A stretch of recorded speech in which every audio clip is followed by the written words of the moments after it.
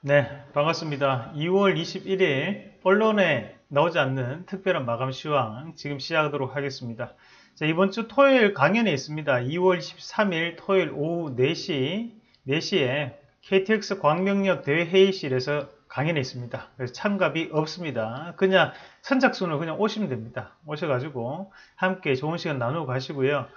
어, 주식 강연에 오후 4시 기억하시길 바라겠습니다. 자, 강연에마다 많이들 오시는데요. 어, 여기도 이제 대회의실이니까 오셔서 어, 함께 시간 나누고 가시길 바라겠습니다. 자, 어, 그러면 전체적인 상황판 한번 같이 보시겠는데, 일단 오늘 중국 증시가 0.3% 결국에는 하락 마감을 했어요. 자, 그리고 니케이가 오늘 0.1% 올랐던데 이유가 뭔지 아십니까?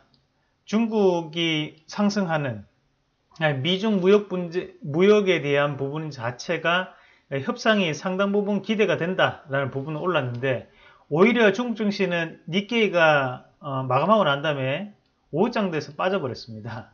그리고 환율이 현재 1124원 59전을 기록을 했고 자 코스피도 0.05% 소폭 하락 마감했고요. 코스닥이 오늘 0.4% 하락 마감을 했습니다. 오늘 중국 증시 잠깐만 먼저 보도록 하겠습니다. 오늘 이거 5분봉 움직임인데 자 여기가 이제 0이에요. 영선이고 어, 하락 출발을 했다 그죠? 그리고 잠시 오전장에 12시에 이르기쯤 올랐다가 밥 먹고 난 다음에 쉬는 시간이죠. 그리고 3시까지 올랐기 때문에 일본 증시가 3시에 끝났죠. 니케이는 중국 증시 오른 걸 봤기 때문에 오늘 상승 마감이 된 거고 대신에 우리나라 같은 경우에는 이제 후반에 어, 하락 전환이 되고 난 다음에 어, 마감이 됐기 때문에 요 정도만 빠지고 끝났다고 보시면 됩니다. 그리고 다시 한 번 더 반등 나는데 아니 중국 증시나 국내 증시 같이 움직입니까? 네, 오늘 시장에서 같이 움직였고요. 그만큼 지금은 시장의 분위기가 어, 이런 글로벌 증시에 대한 의존도가 상당히 높아요. 어, 지금 오늘도 보면 장중의 움직임을 보세요. 출발이 안 좋았죠. 출발이 안 좋았던 왜 안 좋았습니까? 그냥 국내 증시 자체 어제 미국장이 어, 연준에 대한 발언도 있었고 그리고 미중 무역 협상에 대해서 진전이 없었습니다. 그 부분이 반영이 되면서 빠져서 시작했다는 거죠. 빠져 시작하면서 장이 안 좋다가 중국 증시가 여기서부터 올라가니까 따라서 올라갔다는 거예요. 그러고 난 다음에 이제 장 후반에 다시 한 번 더 중국 증시가 빠지니까 또 같이, 다시 한번 같이 빠지는 모습이 나타났는데 음, 그만큼 지금 의존도가 상당히 높아요. 어, 뭐랄까요? 지금 지수를 한번 같이 보시면 지금 여기 요 포인트 2230에서 2250 요 포인트가 이제 새로운 길을 열어야 되는 자리입니다. 여기서 이제 돌파해서 올라가느냐 마느냐 결국에는 지금 이 자리에서 올라가겠죠. 그런데 우리가 지금 생각을 해보셔야 되는 것은 외국인도 마찬가지로 뭔가에 대해서 확신이 없는 자리에서 계속적인 돈을 퍼부을 수는 없다는 거예요. 기관도 마찬가지, 개인 투자자들도 마찬가지입니다. 그런 부분에서 지금은 여기에 이 물량을 소화를 하는 과정 안에 놓여 있다고 보는 게 맞고, 오히려 여기에서는, 음, 뭐랄까요, 이제 올라가는 부분에 대해서 시간적인 부분이 소요가 되고 있는 과정, 어, 뭐 그렇게 좀 보시는 게 맞겠습니다. 거기에 올라가지 못하고 있다 보니까 중국 증시가, 어, 올라가는구나 하니까 투자 심리가 어느 정도 확대가 되는 부분이고, 다시 중국시 빠지다 보니까 아, 아닌가 하고 또다시 내려오는 분위기거든요. 그런 것들이 이런 변곡에서는 항상 나타나는 분위기라는 걸 다시 한번 좀 더 기억을 하시면서 시장을 조금 바라봤으면 좋을 것 같습니다. 마찬가지로 코스닥도 일단은 750포인트까지는 올라왔는데 자, 중요한 것은 이 자리가 상당한 저항이라 했죠. 오늘도 다시 한번 더 맞고 빠지는. 근데 거기에 거래량까지 좀 붙었어요. 그리고 지금 어느 정도의 과매수에 대한 신호가 좀 나타나고 있는 과정. 좀 더, 어, 지금 시장을 보시면, 음, 뭔가가 이제 어느 섹터군이 쫙 간다. 이것을 찾기가 정말 어렵습니다. 어, 사실 그 지금 시장은 음, 우리가 어, 지금 뭐 오늘 사가지고 내일 팔든 아니면 일주일 뒤에 팔든 이런 시장의 분위기는 아니에요. 어. 지금 오히려 11월달, 12월달에 상당 부분 어, 저가 권역에서 매집을 한 물량이 어, 어디, 어디쯤에서 지금은 던질까를 판단하는 시기라는 거죠. 세력의 입장에서. 어, 뭐 물론 저도 예전에 그런 짓을 조금 했던 부분도 있었지만 어, 이제 지금 어느 정도 물량이 확보가 많이 된 상황이었고 사실 우리가 10월달 10월 31일부터 시작해서 계속적으로 바닥권을 다져왔거든요. 여기에서 들어왔던 물량이 지금 여기에서는 어느 정도 나오고 있는 과정이라고 보는 게 맞아요. 거래량도 그렇지 않아요. 지금 이 물량이 오늘 나왔다고 해서 앞에 물량을 소화하는 물량도 분명히 있겠지만 저가 권역에서 분명히 거래가 많이 이루어졌거든요. 그러면 매도도 많았지만 매수도 많았다는 얘기예요. 체결량이 많았다는 얘기예요. 그럼 이런 바닥권역을 다시 한번 다질 때마다 체결량이 상당 부분 많았고 여기에서 박스권을 돌파해서 올라갈 때도 물량이 어느 정도 차익 매물이 나왔고 그 다음에 여기 고가 권역이 올라가서 어, 넘어가려는 시점이 되다 보니까 여기서도 물량이 또 나오고 있는 겁니다. 어, 그러면 지금은 뭐 소위 얘기하는 바 어, 우리가 돈 많은 사람들은 팔려고 지금 어느 자리에서 팔지를 고민하는 부분이고요. 어, 우리 같이 이제 단기 트레이딩을 주로 하시는 분들 오늘 사가지고 어느 정도 시세적인 부분 자체만을 어, 차트적으로 이용하는 그런 자리입니다. 그래서 사실 이런 자리가 어, 저한테는 정말 힘들더라고요, 사실. 예. 조금은 제가 급등할 수 있는 종목군을 좀 찾아서 발굴하고 말씀을 드리려고 하는데 예. 지금 시장은 다 보면 이제 소형주나 개별주 이런 자잘한 종목군들이 그냥 한 번 단발적인 상승으로 툭툭툭툭 이런 식으로 오르는 과정이거든요. 어, 그것을 이제 덩치가 좀 큰 입장에서는 쫓아가기가 상당히 힘듭니다. 어, 그래서 그런 거는 이제 선점을 하고 선매수가 조금 들어가 있는 시점에서 이익 실현에 대한 물량이 지금은 나오는 시점이라는 것을 좀 더 기억을 좀 하실 필요가 있을 것 같습니다. 자, 마찬가지로 코스피 같은 경우에도 우리가 지금 자리에서 삼성전자를 매수를 한다. 그것은 조금 힘들죠. 결국에는 앞서서 37,000, 38,000원대 여기에서 이제 들어왔던 제가 매수에 대한 권유를 했던 이런 물량들이 지금 이 자리에서 나타나는 거예요, 사실. 42,000원대부터 계속적으로 매도가 나타나는 부분이죠. 어, 근데 여기에서 이제 또다시 숨고르기가 이제 이루어지는 거예요. 외국인들이 매수가 들어오고 기관은 또다시 매도를 하고 신규적인 매수가 외국인들에 의해서 들어오고 있는 과정이라고 보시면 됩니다.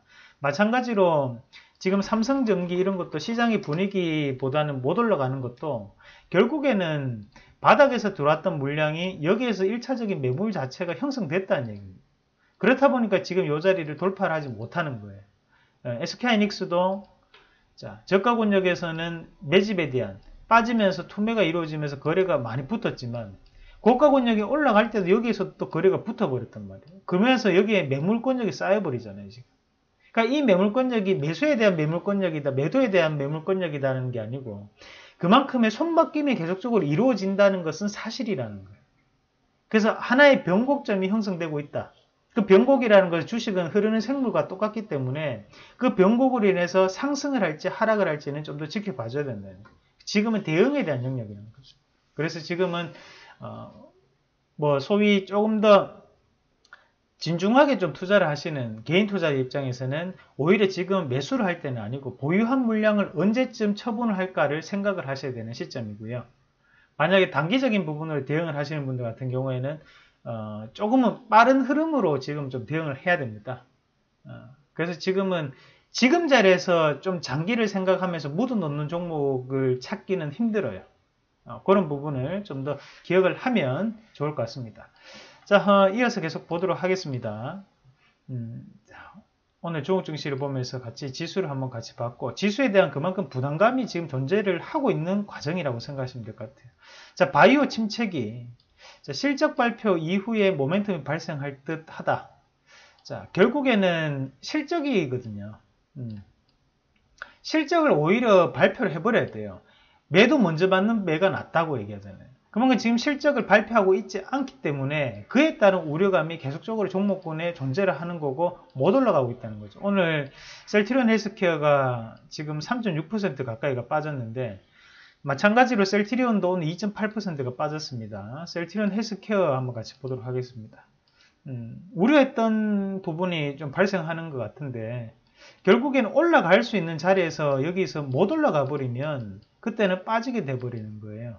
그러니까 지금 이런 부분이 앞에서 이 파동이 빠지고 난 다음에 여기서 반등이 나올 때 못 올라갔기 때문에 제가 좀 더 추가적인 하락을 말씀을 드렸던 거고 요게 엘리어트 파동상에서 나오는 부분인데 한번 같이 계산을 한번 해보도록 하겠습니다.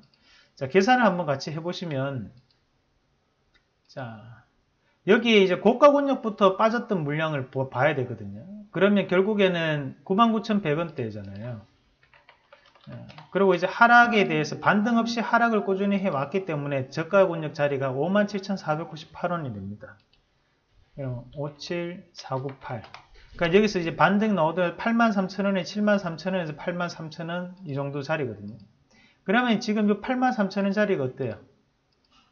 반등 파동의 맥시멈 자리였다는 거예요. 그러니까 돌파를 하지 못했기 때문에 여기서 또다시 이런 파동이 빠졌고 그럼 이 파동에서 또 계산을 한번 해본다면 83,000원이고 하단에 있는 파동 자체가 63,600원이잖아요. 그럼 마찬가지로 이것도 83,100원 뭐 그러니까 63,600원이겠죠. 63,600원 맞나요? 아, 뭐그 정도 됩니다. 그죠?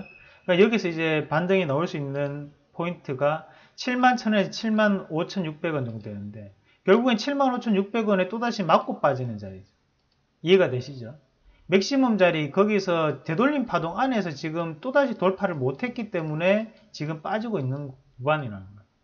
그러면 이런 파동적인 부분에서 지금은 조정과 하락이 나타, 번갈아 나타나고 있다. 그러면 이것을 탈출하기 위해서는 어, 실적이라는 매를 맞아줘야지만 탈출을 할 수 있다는 걸 좀 기억을 할 필요가 있을 것 같아요. 그래서 지금은 하방이 오히려 더 열려버렸습니다.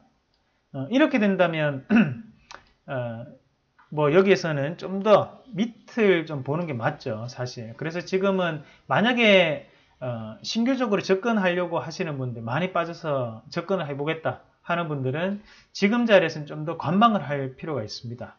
어, 그 쉽게 접근하기는 조금 힘든 자리까지 내려왔다. 어, 그렇게 보는 거고 마찬가지로 지금 HLB 같은 경우에도 지금은 어, 얘네들은 이제 하락할 때마다 어느 정도의 반등을 항상 줘왔거든요. 자, 요런 반등이 나타났던 차트와 앞에서 우리가 셀트리온 헬스케어 같은 경우에 그런 반등 없이 한 번만에 미끄러져 오는 차트는 다르다는 거예요.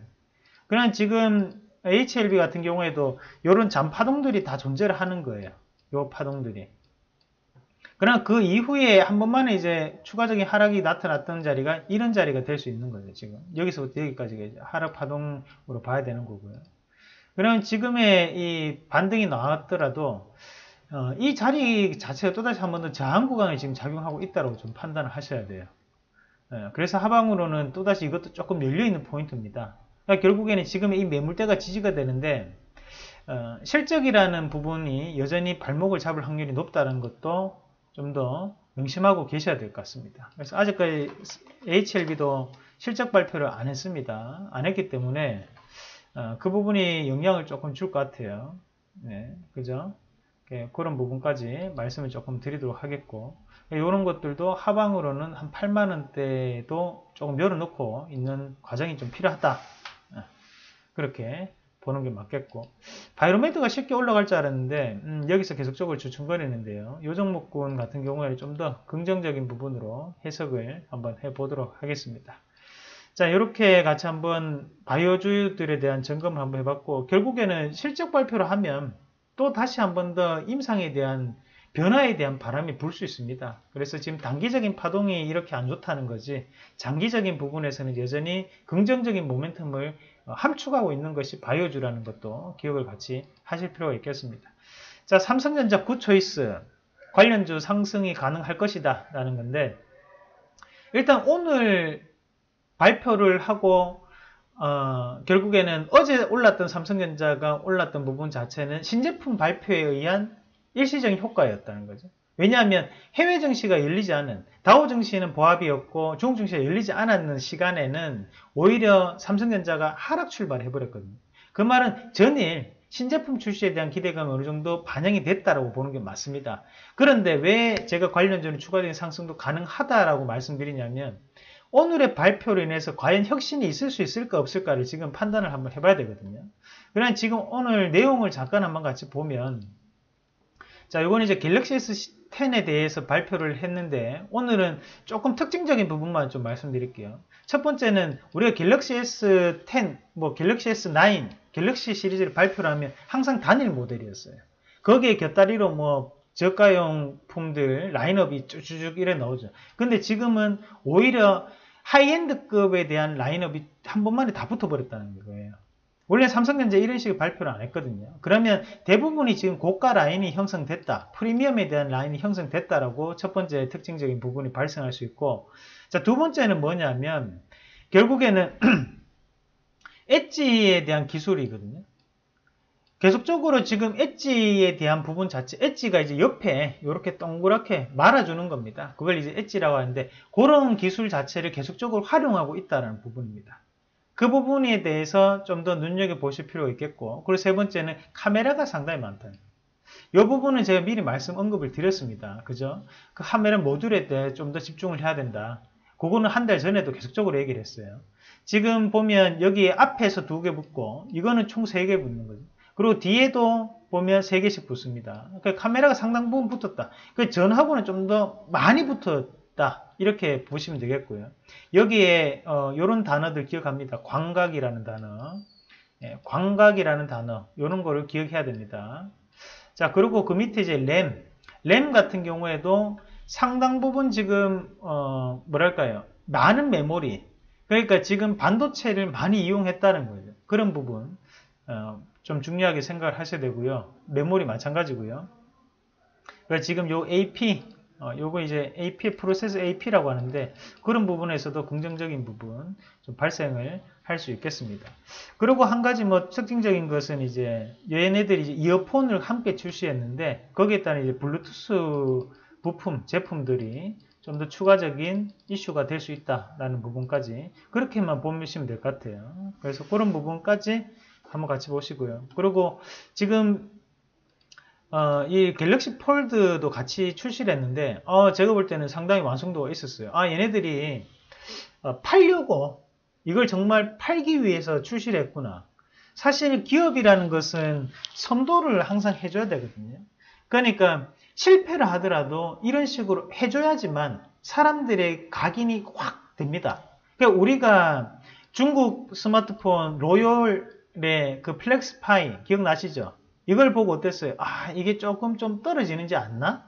이렇게 생각했잖아요. 아, 이게, 음, 이랬는데, 결국에는 삼성전자 거를 딱 보고 나니까 어때요? 와, 정말 비싸서 쓰겠나 했는데, 어, 한번 써보고 싶다라는 생각이 들게 돼요.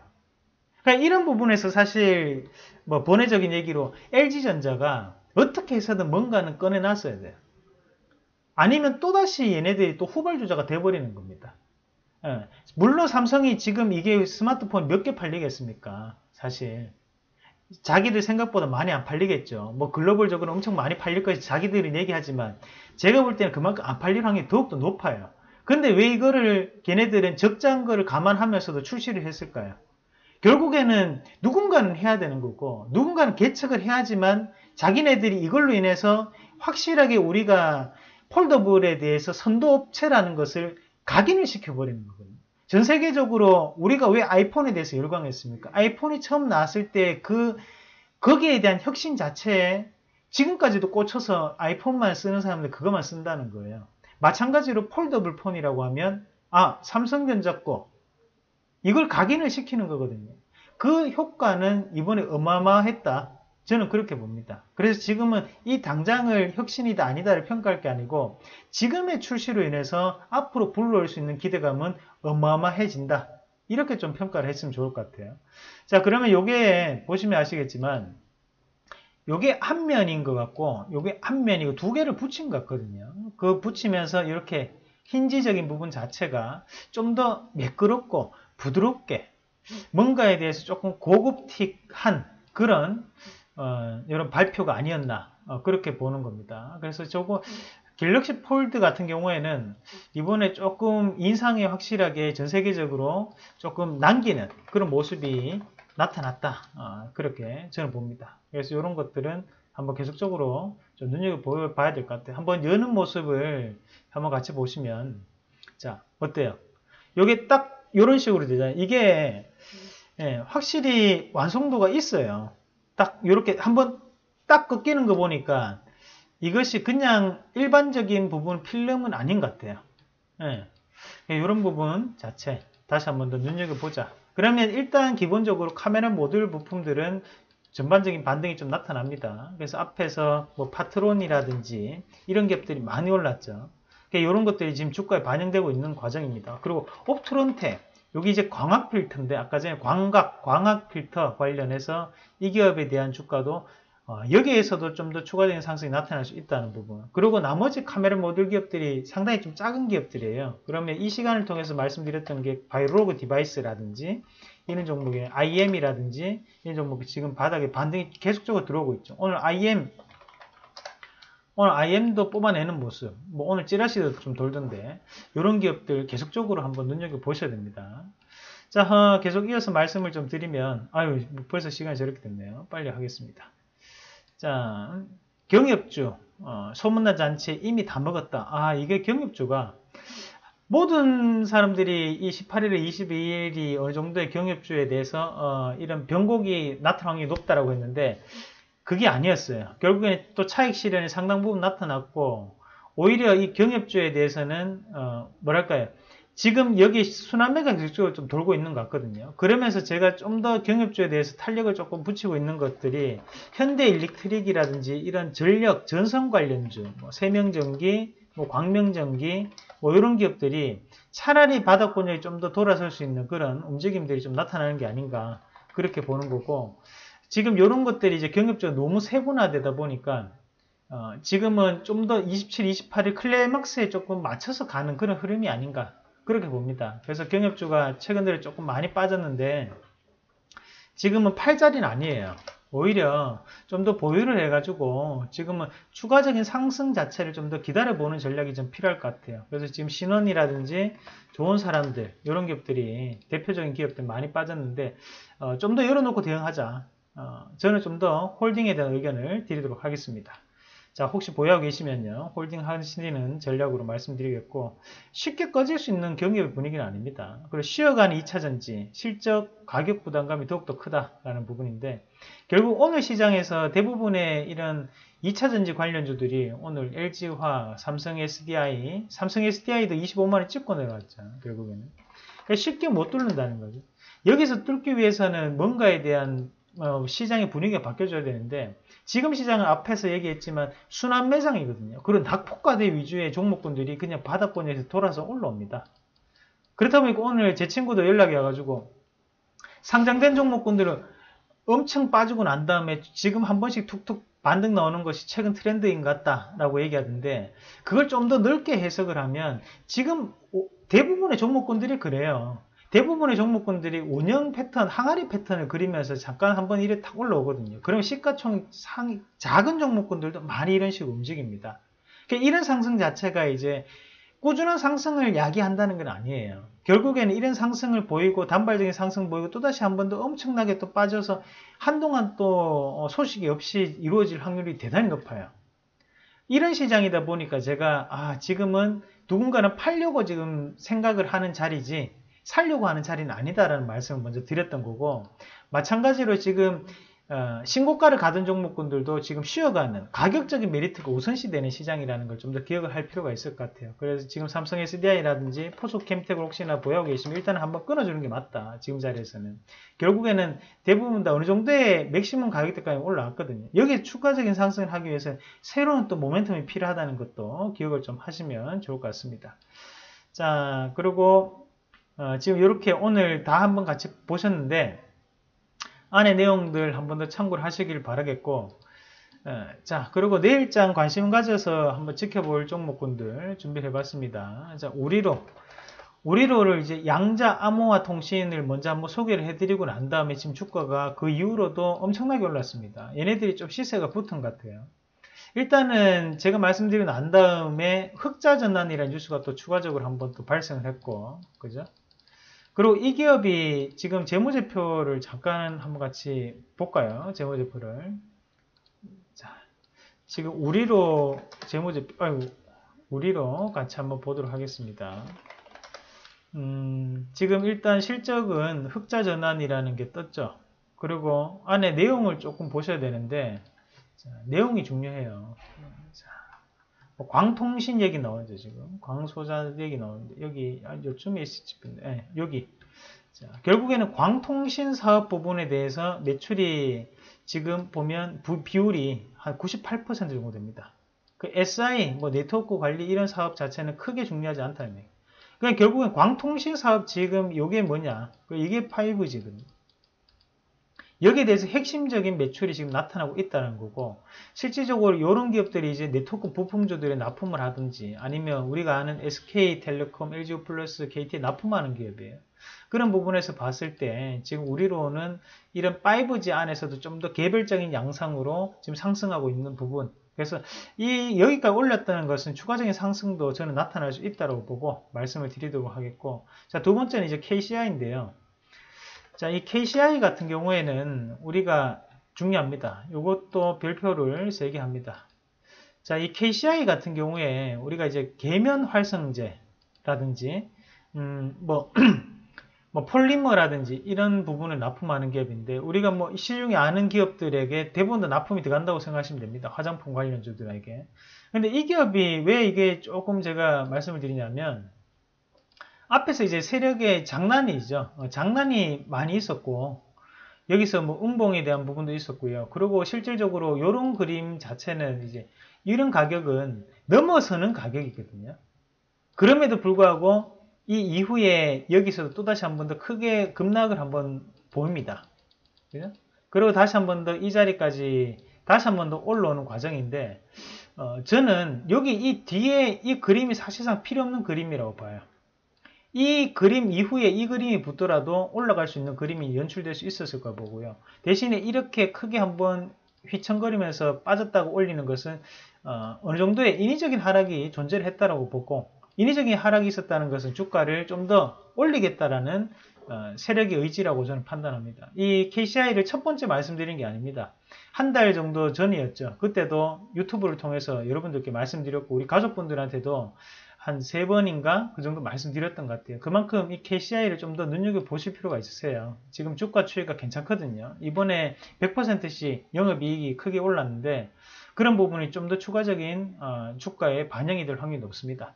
자 다음 종목도 같이 보겠습니다. 옵트론테 자 옵트론테 이 종목이 이제 바닥에서 어느 순간 이제 6,120원까지 올라왔어요. 이것도 여러 번 소개를 해드렸던 기업입니다. 자, 여기 안에 내용을 한번 같이 보시면 자, 이미지 센서용 필터, 광학 렌즈 보이시죠? 그러니까 결국에는 이런 부분 자체가 69.8%를 차지하는데 바로 카메라폰 이 부분 자체가 이슈가 된다는 얘기예요. 가변 조력이 마찬가지고요. 이거 두 개만 다 들어도 80%입니다. 그만큼 매출의 대부분을 차지하고 있는 것이 지금 수혜를 받기 때문에 주가가 반등 나오고 있다는 거예요.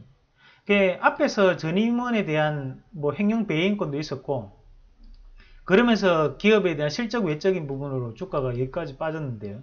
지금의 이 반등 자체는 장기적으로 봤을 때는 충분히 지금 자리에서 뭐 이런 자리까지는 올라올 수 있는 그런 여건이 형성되지 않나 어, 그렇게 보고 이 종목을 한번 같이 보시고 마지막에 쇼박스인데 사실 이 쇼박스 같은 경우에는 뭐 앞에서 실적 악재, 흥행 참패라고 적어놨는데 마찬가지로 이게 12월 달에 마여강을 출시를 했는데 흥행이 엄청 안 좋았어요. 믿었던 송강호마저 배신을 했고 그리고 최근에 이제 뺑반이라는 뺑소니 전담반이라는 영화를 출시했는데 좀 있으면 DVD 나올, 나올 것 같아요. 그만큼 또 실적이 안 좋고 근데 이번에 또다시 신규적인 영화 라인업이 또 많습니다. 그런 부분을 본다면 얘네들이 어떻게 해서든 올해는 주가를 올려야 되는 상황이다.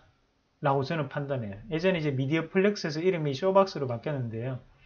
음, 이 기업에 대해서는 주가도 어, 앞에서 보시다시피 바닥을 다지고 흐름상 올라왔고 여기에서도 다시 한 번 더 큰 하락세를 보였지만 실적에 대한 악재로 지금 여기까지 빠진 거거든요. 지금 여기에서 더 빠질 수 있을까? 음, 저는 그건 아니라고 봐요. 지금 이런 라인업 중에 하나는 성공하겠지 라는 생각으로 세력도 그런 생각을 하고 있지 않겠나 어, 그렇게 보고 쇼박스까지 말씀을 좀 드리도록 하겠습니다. 자, 어, 오늘 음, 시장 이벤트가 많은 하루였습니다. 어, 그리고 뭐 신제품의 출시를 했던 삼성전자였고, 뭐 상당히 뭐 이런 날이 삼성전자 입장에서 역사적인 날이 되기를 또 바랄 것이고요. 우리는 또 그런 날을 하루를 또 같이 보냈던 하루였는데, 어, 뭐 앞으로도 뭐 꾸준히 저런 신제품이 나오면 좀 더 자세하게 여러분들께 말씀을 드리도록 하겠습니다. 자, 이번 주 토요일 강연에 있습니다. 오후 4시고요. 강연회 때도 뵙고 그리고 내일도 다시 또 이 시간에 뵙도록 하겠습니다. 그럼 오늘 여기까지 하고 내일 이 시간에 다시 뵙도록 하겠습니다. 이상입니다.